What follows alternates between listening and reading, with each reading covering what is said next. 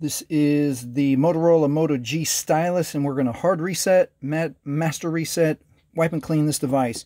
Let's get into it. We're going to hold the power and volume down at the same time. One, two, three, go.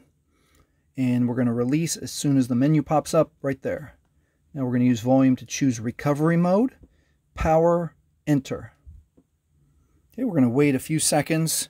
The Motorola logo comes on, and we're going to find the Android and this very important part is where we're going to hold power and quick touch volume up like this. Power, quick touch. Brings up the Android menu. Now we are going to wipe data factory reset, enter, confirm that we want to factory data reset, enter with power.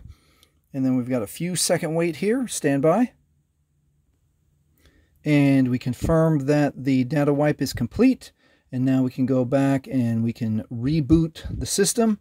And that is how you factory reset, hard reset the Motorola Moto G stylus. Thanks for watching.